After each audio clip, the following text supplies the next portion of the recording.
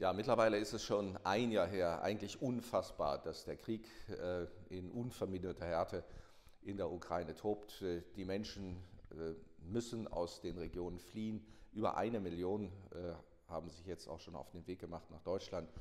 Und ich glaube, äh, wir haben alle gemeinsam und dafür ein ganz, ganz herzliches Dankeschön, das gemacht, was wir machen konnten, vor allem hier auch in Heidelberg, im Sinne einer offenen Aufnahme Struktur. Viele haben Wohnungen zur Verfügung gestellt, was uns sehr geholfen hat. Für Mütter mit Kindern, die eine intensive Betreuung brauchen, haben wir spezielle Angebote gemacht.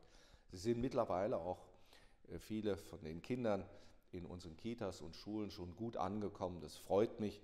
Und ich weiß, es ist für alle immer nicht eine einfache Situation, aber wir müssen immer daran denken, dass gerade die Kinder und die Menschen, die aus der Ukraine fliehen, wirklich äh, zum Teil schwerst traumatisiert sind und unsere Unterstützung auch benötigen. In diesem Sinne denken wir gemeinsam an die Menschen in der Ukraine, an die, die auch ihre Freunde, ihre Partner, ihre Ehepartner verloren haben und hoffen, dass der Krieg möglichst bald auch ein Ende findet.